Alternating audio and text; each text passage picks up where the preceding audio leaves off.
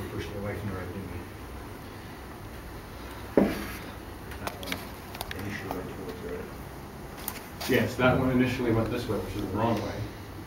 And we pushed it back away from the road. And this one has to go. It didn't actually that. Just.